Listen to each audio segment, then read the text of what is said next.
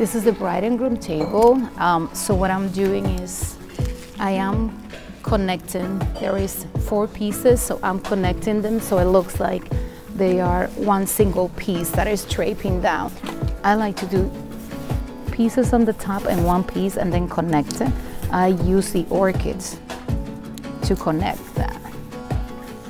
This is actually the most important table of the complete wedding, the bride and groom table.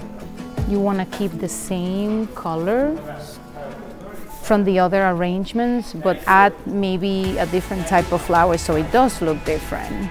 This table, it's extravagant, but at the same time, it's very elegant.